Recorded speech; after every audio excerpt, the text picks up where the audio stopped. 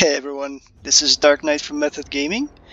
I hope you are feeling well and staying safe. Uh, this is another Raid Shadow Legends video, and this one is going to be about the top 10 things I love about uh, Raid Shadow Legends. Although love may be a strong word, but let's use that one. Alright, so let's get right into the list. Uh, the first thing that I that firstly actually drove me to download and try the game was the graphics. I think it's a great looking game for uh, for a mobile game.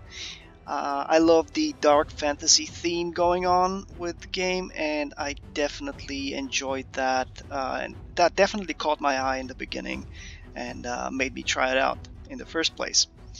Uh, the champion designs are actually really cool. Uh, you've got various champions. Of course, you do have from time to time reskins of certain champions, but overall, uh, you get like very detailed, very cool looking champions, and those are just fun to look at. As you can see, uh, I also what I also like about this is the the style is not highly stylized uh, cartoony style if you know what I mean. There are a lot of games out there with that particular style. Uh, I'm not bashing on those games by any means uh, and I know that there are a lot of people out there who actually may prefer the cartoony style especially younger players. Uh, so I'm definitely not saying they're they're bad games or anything like that but what I'm saying is I do enjoy the dark fantasy look more than I do than I enjoy the cartoony look so that's definitely a plus in my book. And something I forgot to mention by the way this is an opinion piece so to speak so uh, these are obviously very subjective things that uh, I myself uh, think but I'm not saying that these are like this is the end all be all of uh, the pros or things that are great about the game. I'm sure that you, if you've played the game uh, already, have uh, have maybe a lot in common with what I'm what I'm about to tell you, but also you may have many other things that you enjoy that I do not mention, or maybe I forgot to mention, or maybe that I don't enjoy. I actually plan on making another another video about the um, things I hate about the game. Alright, so moving on to to the second one is the fact that the game is cro uh, cross-platform now and has been for a while actually with emulators but uh, several months ago uh, the client the PC client came out so you can actually uh, don't you don't even need emulators anymore. Uh, though there are certain uh, pros and cons to having both the client and the emulator um, you have options is what I'm saying so that's definitely something that's going to help your battery life on your phone if you have the option to play it on your laptop on, or on your desktop so definitely something that I think is uh, a great asset and has been something that has allowed me to to play the game more uh, than I would if, uh, if it was only available on phone.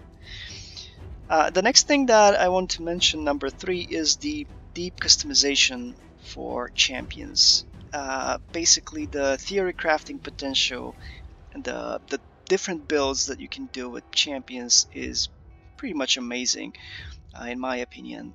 Uh, it's got, at least from uh, compared to the game that I uh, played before, which was uh, Star Wars Galaxy of Heroes, I would say it has deeper customization than that because firstly um, in uh, Star Wars Galaxy of Heroes you have six slots for mods which is basically kind of like your equipment here in this game. But here you have three extra slots that you can uh, play with. So that's that's adding another 50% customization on top of the six slots here.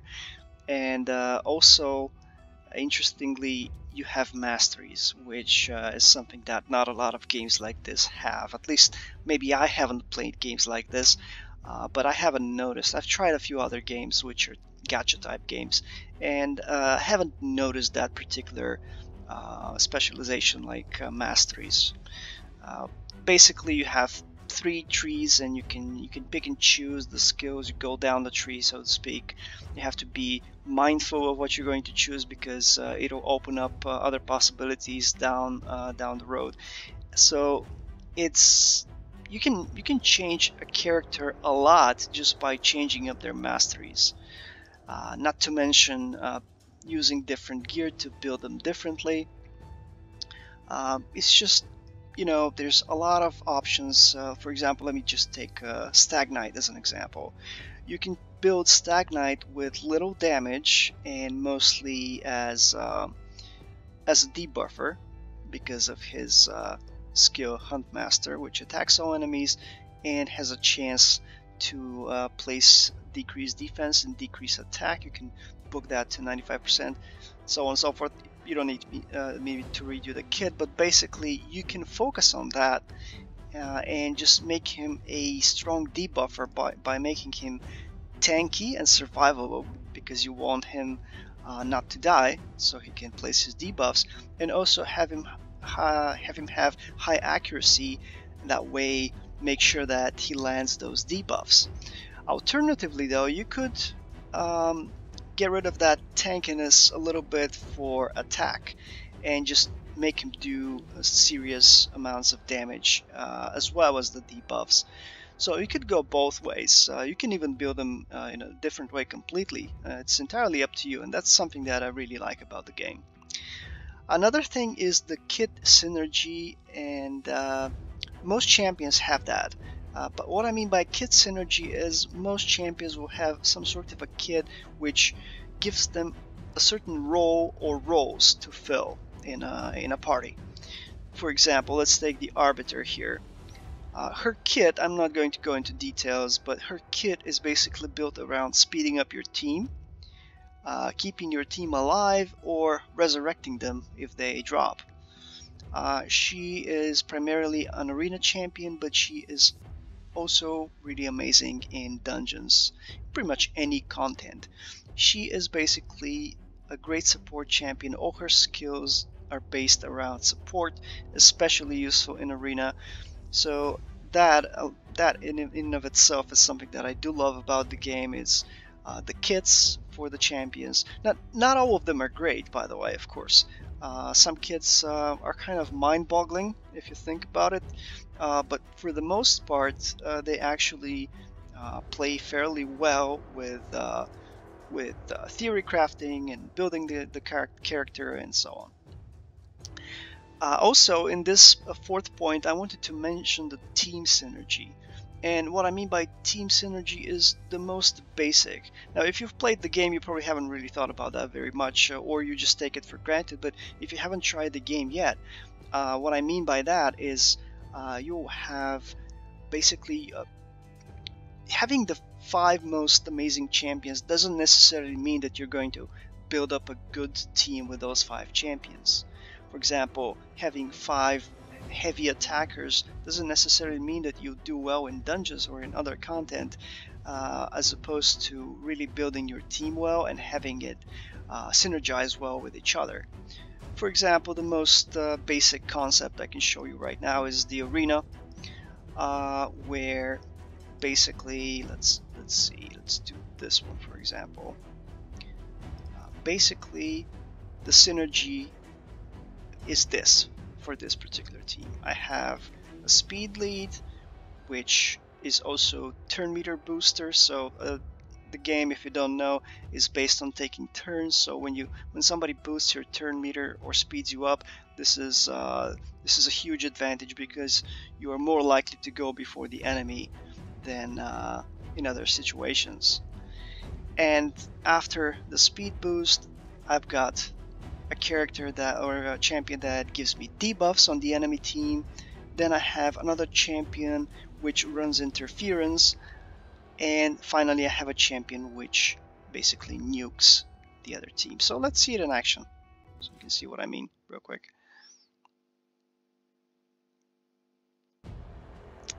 slow it down a little bit. So, turn meter boost, AoE debuffs, interference dropping the meter of the enemies, and finally a nuke. And that's it. if you had four attackers without a speed booster in there, you would not do that well. That's what I mean by team synergy. Same goes for dungeons or for any other content in this game. Number five is uh, temporary and permanent bonuses. Something that I do love about this and RPG games in general is uh, being able to build your character or uh, in this case champions um, consistently throughout the game and being able to stack bonuses, even little ones, uh, that can really make a difference and just sort of so you, you can see that your dedication to to building up those uh, bonuses is actually paying off. Now, what I mean by temporary and permanent bonuses is if we take a look at the Great Hall here, uh, we've got the champion bonuses from um, our current arena tier. I'm in gold 4 right now, so that means that I get plus 20% hit points, attack, and defense. Now, if I was lower in the rankings, I would have lower percentage here, or if I was in platinum tier, which is the top one, uh, I would have 25% for each. So these are what I call temporary bonuses because if you drop down in the ranks, uh, then those will go down as well. But for the most part you will be able to keep those consistently throughout uh, your play. So uh, you know just might go they might go up they might go down but they'll be there for the most part. And by permanent bonuses I mean the Great Hall itself. As you can see these are all different bonuses that you can have for your champions. For all champions and this uh, this is included and takes effect for the entire game, not just uh, arena, for example. So all of these bonuses, the temporary and the permanent ones, um, basically take effect for all your champions in the entire game. Of course, uh, you're looking at uh, Magic champions, Spirit champions, Force champions, and uh, Void champions. So basically, Force champions, for example, will only benefit from this row here, and same goes for the others. So you're gonna have to make a decision on which row or which uh, bonus you want to uh, focus on based on your champion pool. So if you mostly have magic champions and you haven't really built up any of the others uh, then you should probably focus on this here as well.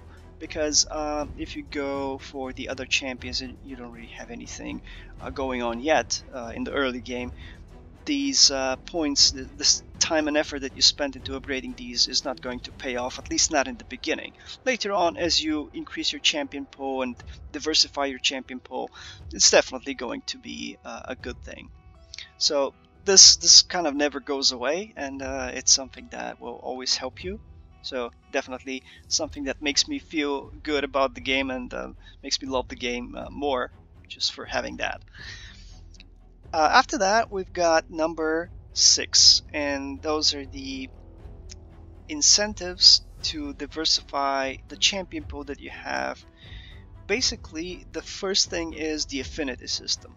So if you go into any sort of dungeon or campaign uh, battle, you will see the system up here. So you've got Magic beats Spirit, Spirit beats Force, Force beats Magic, and Void is in the middle. It's neither strong nor weak against any of the other affinities. But for example, if you're running a dungeon where you have a specific boss, um, for example, let's take the dragon. So you, as you can see, dragon changes affinity for every level as it goes up.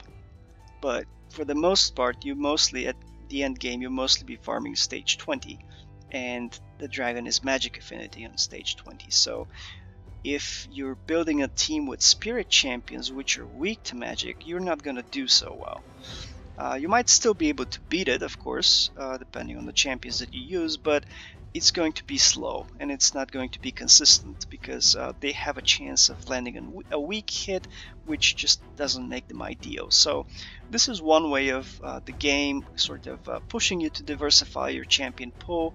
Uh, for example if you just want to beat this stage you need either magic champions which have no disadvantages or advantages in this stage or force champions which actually have an advantage uh, the next thing is that I was thinking about and had in mind is faction crypts. Because basically faction uh, faction wars, sorry, or faction crypts, or whatever you want to call them, they're based on factions, obviously, and that means that you're going to need a much larger pool of champions if you're going to beat uh, the faction wars. They're actually quite difficult, so uh, you can't just put together five champions from, let's say, the Skinwalkers and just beat all the stages with whatever five you picked.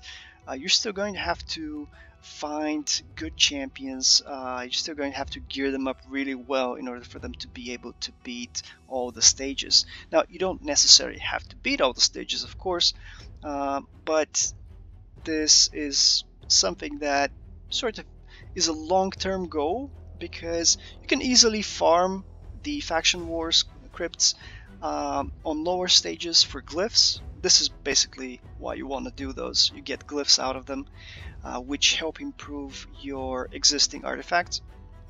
So that's definitely something that you want to do uh, as soon as you start the game, basically. Even if you just, can just beat the first stage, that's uh, one star glyphs uh, for for your gear, which is going to be useful. It can it doesn't it won't seem like a lot in the beginning, but it's going to uh, help you out, especially for example speed glyphs. Having that extra speed from glyphs on your um, on your artifacts for your champs is just sometimes a really uh, make or break kind of thing, especially in the arena if you're trying to push speed on your uh, speed buffer. Uh, very important. Finally, speaking of arena, by the way, uh, this is another thing that can uh, incentivize you to diversify your champion pool. Uh, what I mean by this is, for example, for campaign, you just need a campaign farmer, somebody that can go through campaign as quickly as possible, uh, and you're done. Uh, there's not much need to do any further than that. You don't need five campaign farmers, you only need just one, really. Uh, so that's one champion, and if you build that champion what else are you to do? Well, then you move on to dungeons. Uh, for dungeons, you need to build teams of five champions, and each dungeon has specific uh, mechanics, so you can't necessarily use one team for all the dungeons. You might be able to and get away with using a single team for Fire Knight, Dragon's Lair, and Ice Golem's Peak if you really get the right champions and you build them in the right way. But for example, Spider's Den is a very different dungeon from these three, so um, it's highly unlikely that the team that you'll be using for these three dungeons is going to be successful in Spider's Den. What is more, you kind of want to build effective teams which uh, beat these dungeons more quickly. So that's going to be different champions for each of the dungeons. But let's say that you you build up 10, 15, 20 champions that you're going to use for these different dungeons.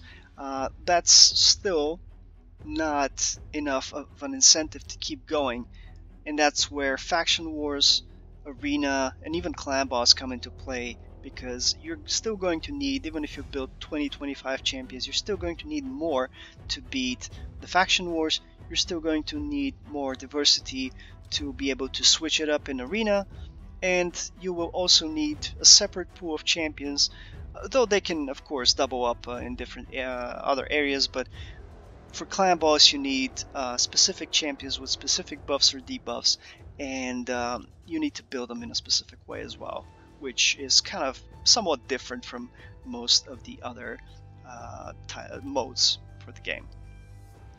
Next up, we've got uh, number seven, and those are the missions and the achievements uh, and how they drive your progress. Now, I've completed all the missions, so I can really show you uh, an example of missions. But for example, uh, it, the missions are mostly making sure that you're moving sort of in the right direction. It, they're always pushing you one step further. Uh, for example, in the beginning, they'll ask you to complete, uh, let's say, stage 5 of the Minotaur's Lair 10 times on auto, which is not very difficult. Uh, and at the end, of course, uh, they're going to ask you to do things such as beat uh, dungeons on level 20, which is the max level, uh, 10 times on auto, so you can't really uh, do it manually. Uh, so this requires, of course, some progress on your account in, in order to be able to do that. And it kind of pairs well with uh, what you want to to build in your account. So every mission basically gets you one step closer to the to the next one, to to the ultimate goal, which is basically getting the arbiter uh, for free. Uh, so that's definitely something that helps. Achievements, I don't have them because I've completed them, but they are also, I think, very well built and they kind of drive you towards certain goals that you want to reach. And upon reaching those goals, you will realize, if you look back, you realize that you've actually improved your uh, roster that way. Alright, number eight is no heavy time constraints from the game with the exception of energy. What I mean by this is you don't actually need to be uh, logged into the game every 20 minutes or every hour or even every couple of hours. Basically, there's no mechanic in the game that, for example, uh, has you playing at a specific time unless you're doing Platinum Arena and you're just fighting to keep your rank right before the reset. That's once a week though. And uh, you know, it's your choice whether you want to do it or not. But uh, just to give you an example, in Star Wars Galaxy of Heroes, there's Squad Arena and uh, Ship Arena, and they have payouts every day at a specific hour. And if you want to get the max uh, of what you can do, is you, you need to do your five arena attempts and start right about an hour before your payout. And since there are two arenas there, you're looking at about two hours of your time where you have to uh, spend uh, doing the arena missions uh, or fights rather. Uh, you have to be mindful of the timers because when once you do a fight, there's a 10 minute timer before you can do your next one. Uh, sort of like, for example, sort of like the refresh option. When you refresh here, uh, you get a 15 minute timer, but you still get 10 10 fights that you can do here. So you uh, you have your hands full and you will be able to do several fights back to back before you have to wait for that timer to um, to run out so you can refresh again for free.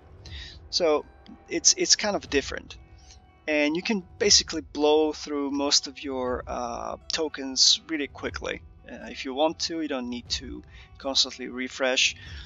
Um, so that's something that I think is a, is a huge boon to the game. The ability to not have to log in at a specific time every single day, like some of the other games uh, kind of make you do, uh, if you want to get, of course, the top rewards. Uh, the next, actually, before I get to the next part, uh, the thing I wanted to mention is the energy. So the energy replenishes at 20 energy per hour so with a maximum of 130 energy that means you're looking at six and a half hours this I think is the most time constraining part because in six and a half hours your full, your energy is going to be full even if you fully depleted it and that means that for example um, min-maxers like myself uh, might kind of mess up their sleep schedule just to be able to uh, fully utilize that energy, which I think you shouldn't do. Uh, and that's coming from a min maxer as well, somebody who likes to utilize their resources uh, to the maximum. Uh, you really shouldn't like be um, creating alarms for the middle of the night to use your energy or things like that. It's uh, it's really not worth it to mess up your sleep cycle. So that's something that I would say don't do it. But at the same time, it kind of makes you feel bad when you log into the morning and uh, you see your energy is full and you're kind of wondering, okay, how much energy did I lose just by not uh, not having a larger energy cap so that I, I can accumulate more. Uh, and besides, six and a half hours aren't that much if you're working. Uh, for example, if you can only play right before work and then you'll check in after work, uh, that's about eight hours. So I think you need a higher energy cap uh, in order to be, you know, comfortably uh, not thinking about uh, how your energy is going to cap out in the last few hours at work. Next thing is the battle pass. I think this is actually a great addition to the game. Uh, the extension of the login rewards is something that I really um, am happy about as well. Uh, so from 90 days it went up to 180 days. That's great. Uh, lately we've been getting a lot of uh, updates with quality of life changes which have been very crucial. For example, uh, increasing the champion vault, increasing the space for champions in general up to 200 here and the champion vault can go up to 300 I think. I don't have the max out obviously but here you get up to 200 and 300 here I think um, if I'm not mistaken. So that's definitely something uh, good. We've had other quality of life updates. Can't think of anything right now off the top of my head, but uh, quality of life changes and uh, upgrades are always always welcome and they just make our life easier in the game you know uh, the filter system for example uh, is a huge huge boon If you go here, you can now look for certain equipment by primary stats, by secondary stats, and it's so much easier to find now than it was before where you had to go through all your equipment and just go through all of it, just try to find something. You're gonna miss something, you're gonna maybe not be able to find piece you're looking for. You may not even realize that you have the piece you're looking for if you can't uh, really do a filter to do the search. So this was a huge, huge quality of life update that we got recently. And uh, bravo to Plarium for doing this finally. I hope they keep going for, for such quality of life changes in the future as well. We definitely need them. Uh, by the way, I heard uh, heard the rumor that there's going to be an update uh, to oh, the level cap, it's not going to be 60. That's the player level cap, not the character level cap, by the way. So, you know, don't get a heart attack. Uh, so the player cap will go up to 100 from what I've heard in the next update. However, uh, they say that the energy cap is not going to budge.